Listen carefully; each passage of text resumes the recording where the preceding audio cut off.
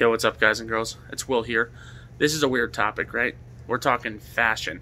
Now, normally I don't talk about fashion, right? I'm all video games, politics, business, and coding, but we're talking about fashion here. If you guys want to check out some top fashion, you have to check out the show Next in Fashion on Netflix. I know it's really strange. I'm not into it. Um, my girlfriend actually like pulled me away from work. She's like, "You got to check out this line," and so I'm looking at the you know the finals or whatever, the finale between uh, Daniel and then this girl Minju Kim from South Korea. I'm not even joking. I was in like you know watery eye mode um, when I see her South Korean father like look over to her like, I had no idea, no idea that she was so skillful and talented.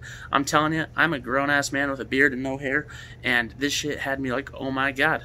I gotta get my girl start a fashion line because this shit was inspiring. I'm talking like full blown, like go to war for that dress kind of thing. Seriously though, I can't do any copyright violations, obviously, but check it out on Netflix. The last dress is just ridiculous. I want to put my girl in this dress. You guys are going to want to go back in time, put your mom in this dress kind of thing. This thing is beautiful, stunning. Check it out, Minju Kim on Netflix's Next in Fashion. I swear to God, you won't be sorry, male or female. Deuces. Was that good, babe? Put it up now. Putting it up now.